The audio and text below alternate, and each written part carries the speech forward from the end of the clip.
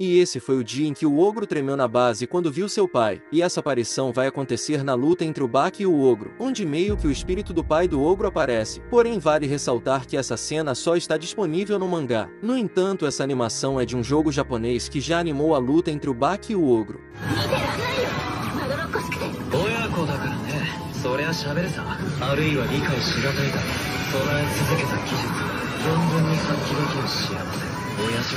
親子だからねそりゃ喋るさあるいは理解しがたいが備え続けた技術存分に発揮できる幸せ親父はそんなわがままが許される唯一無二の存在なんだもう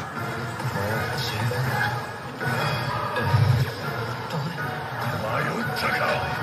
手に手こずラキちゃん勝てるぜお前 Para quem não entendeu nada do que está acontecendo, essa animação foi feita lá no Japão para um jogo de cassino, nos proporcionando essa luta animada antes mesmo da Netflix.